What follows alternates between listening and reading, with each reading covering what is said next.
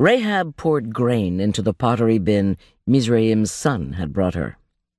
Two more baskets and the jar would be full. Three large storage jars contained water. She had two baskets full of dates and two more of raisins.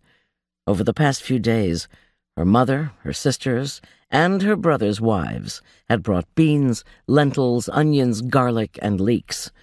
Her house was beginning to look like one of the booths in the marketplace, loaded with foodstuffs for sale. But would there be enough if the siege lasted longer than a week? She looked around again, taking mental inventory of what she had and what more she might still need to take care of her family until the Israelites could break through the gates and come to their rescue. Time was short, and each day that passed increased her feelings of urgency and excitement. Jobab and Mizraim came to her each evening after their labor on the walls.